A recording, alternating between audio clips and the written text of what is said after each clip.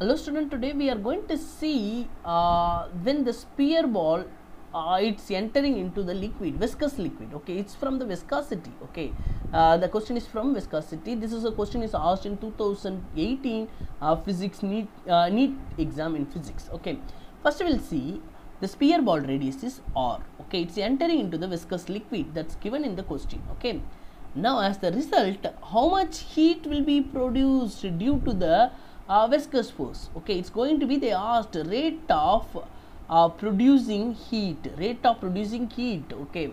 Uh, when the spear ball attain with the terminal velocity okay. This much is given. So term uh, its rate of change of heat is directly proportional to radius. How much radius? Okay only radius you can see. So in the time of radius you are going to see. Okay first we will do one by one okay uh, see this question you need to analyze many things okay? Coefficient of viscosity. When the spear ball is moving inside the coefficient of viscosity i know the terminal velocity okay? Terminal velocity is equal to this is a formula. We know it is a fixed formula okay? If you want more explanation about this formula means you can come and i will do i will derive how this formula we got okay? So eta times of density minus sigma into g.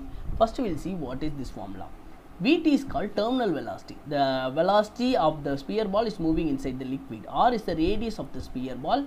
Eta is the coefficient of viscosity. Okay, and rho is the sphere ball density. Okay, and this rho is the liquid density. This is the gravity. Okay, this what we have terminal velocity. Okay, next one. Uh, that's this formula we know already when we are learning viscosity. This is a main formula you are going to learn. Okay, then Stokes force. Stokes force. Stokes force. Uh, this we no need to learn the derivation. Directly you can learn Stokes formula. 6 pi eta or Vt okay. So I am going to relate everything together. Force uh, it's going to be the viscous force. 6 pi is the constant. Uh, it is going to be coefficient of viscosity. It is radius. It is terminal velocity. Okay like this we have force. Okay. Now what is the question is asked? Rate of uh, produced heat. Okay. Heat is called energy. Rate of produced heat. Okay a rate of change of energy rate of change of energy is going to be the power actually. Rate of change of energy is going to be the power okay? That is asked in question okay? It's not energy power okay? So i know work done is equal to force into displacement force into displacement okay? Uh, so energy is equal to force into displacement. You can take it q heat energy no h you can take it or q you can take it. Q is equal to a force into displacement. Just i am going to differentiate this equation. dq by dt rate of change of energy force uh, d displacement. Displacement symbol we can take it as a yes. Displacement symbol we can take it as a yes. Okay rate of change of displacement by time. Which is going to called as the velocity. So force into velocity.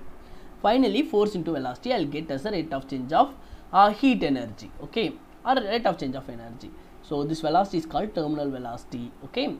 Uh, now what is Stokes formula? Stokes formula already I know 6 pi uh, eta or Vt terminal velocity. Again into Vt is there okay? I no need to get confused. Even if you forgot one or two terms also you will get the answers correctly because radius alone they are asking proper explanation okay? So dq by dt. This is the relation they asked with the relation of radius okay? Here one radius power 1 is there remaining everything is constant 6 pi eta okay or vt square okay vt square.